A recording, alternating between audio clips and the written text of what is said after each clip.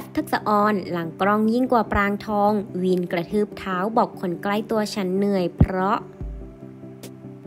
กำลังเข้มข้นคนติดตามกันมหาศาลค่ะสำหรับเรื่องละคร แขนที่ได้นักแสดงสาวแอฟทักษออนมารับบทเป็นปรางทอง คุณน้าตัวร้ายที่กำลังโดนหลานสาวเหมือนแพร ตามล้างแค้นและด้วยความเข้มข้นของละครคนดูเลยติดกันงอมแงมค่ะ งานทะลักเข้าหาสาวแอฟไม่หยุดเลย ซึ่งล่าสุดนั้นคุณเปิ้ลคนสนิทของแอฟได้เผยคลิปคำคำของแอฟในกองละครหนึ่งซึ่งแอฟแกล้งทำเป็นร้ายและวีนใส่คนใกล้ตัวว่า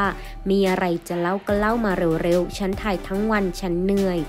ก่อนจะแกล้งกระทืบเท้าใส่และใส่อารมณ์เพิ่มเข้าไป และบอกว่า ฉันถ่ายทั้งวัน ฉันเหนื่อย ฉันถ่ายมาสิบวันแล้ว เข้าใจไหม